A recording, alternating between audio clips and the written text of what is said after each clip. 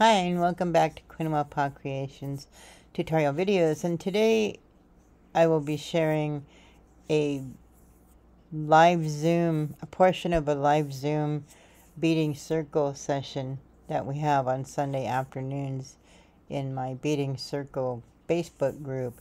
And the instructions were from the craftwork techniques of the Native American that I purchased from Crazy Crow Trading Post so I'm going to use some brain tan buckskin size 11 seed beads, size 11 John James beading needles, some nylon Nymo beading thread, and I used a size D for this project. Here's today's video and I hope you enjoy it. I'm just going to draw my front panel because that's where we're going to put the beadwork. Put it in pencil so that I won't have ink marks on it. All right, that's going to be four and a half inches there. And we're going to go three and a half across the top. Oh, I'm going to get over here. Go.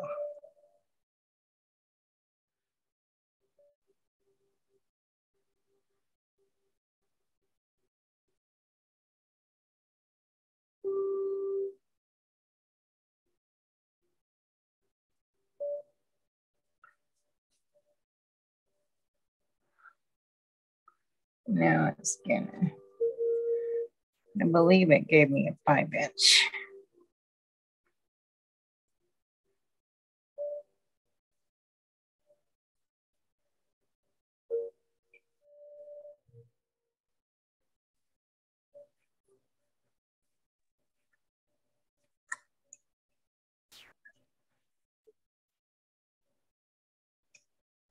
Go on. So.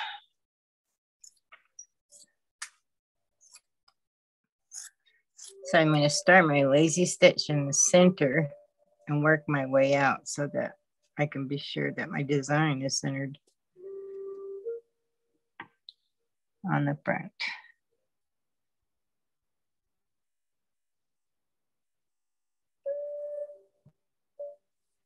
I'll put this pencil mark on there so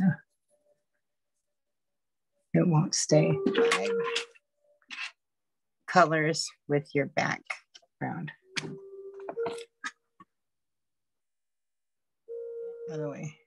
You're going to cover this small area here with your um, beadwork.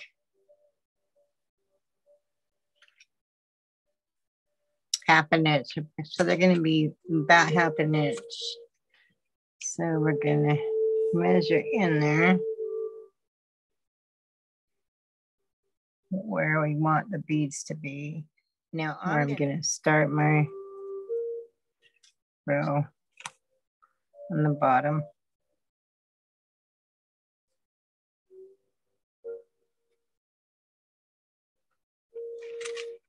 And I want three of them, half inch.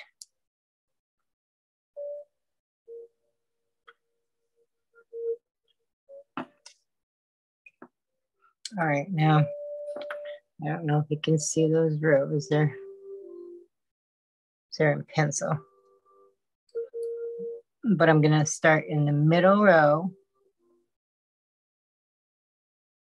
because I have three rows there. So I'm gonna be in the middle and I'm gonna do one, one side at a time.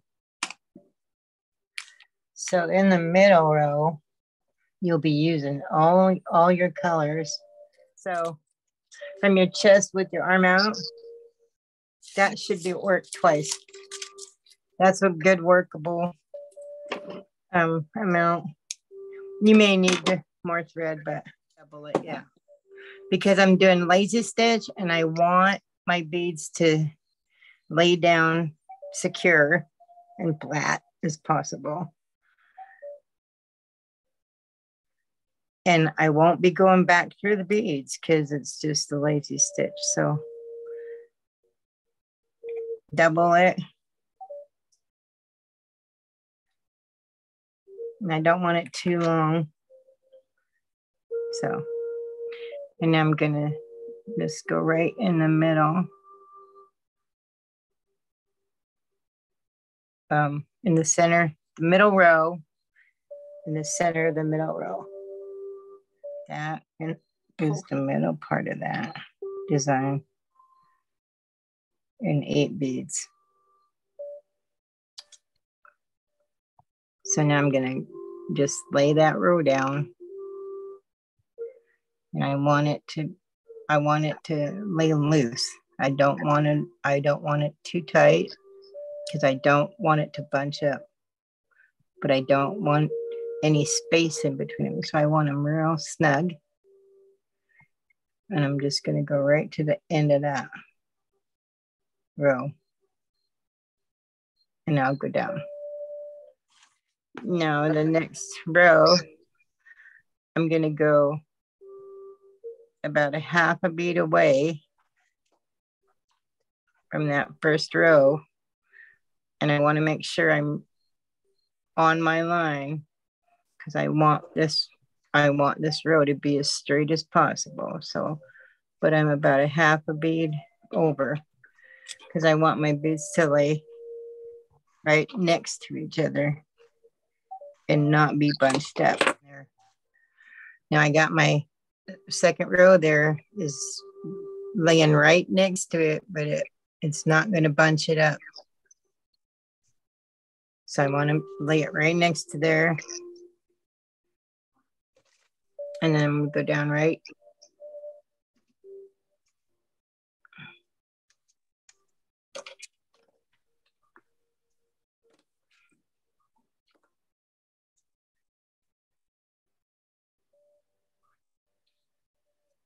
So my my next row is right next to it. So I'm going to keep doing that. I'm going to go another half a bead away. But you pull it kind of snug and they're going to lay flat. You can see that. All right. And that's to the end of that row. Now I'm gonna come back up and I'm gonna go back to that last row because I don't want just a knot hanging out the back in case it comes loose or anything. I don't want that row to come off.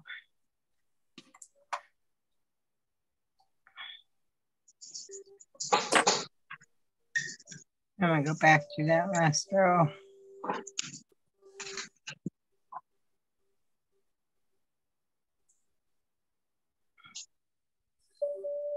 And then I have my knot on the back side.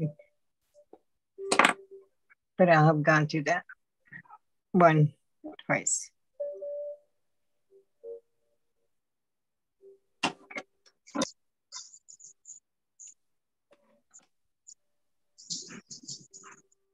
And then I'll go back to the center and I'm and I'm just gonna mirror image that and do the same on the other side. Now that I have that foundation row, I can do that next one. And I want to stay right in line with the row that's above me, above it. Coming up right next to that bead.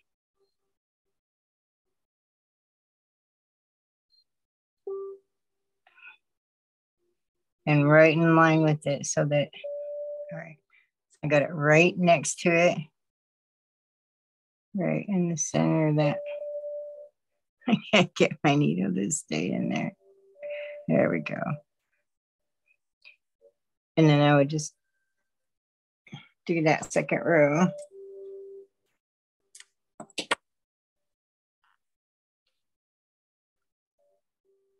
I want it to be right in line with that row. And my line that I drew is right here to the bottom. And now I want everyone, I want each one of my rows to match up now. And That's now I will just match up the next row to the ones that are already there. there we go.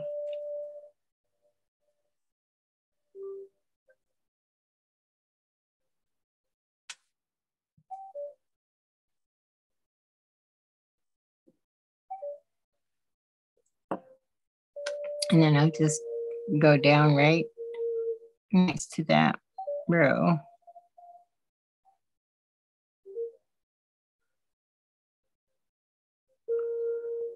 Right in the middle of that bead. And there's my second row, all done. Looks great. My, and take my needle, because I don't want to knot if I don't have to.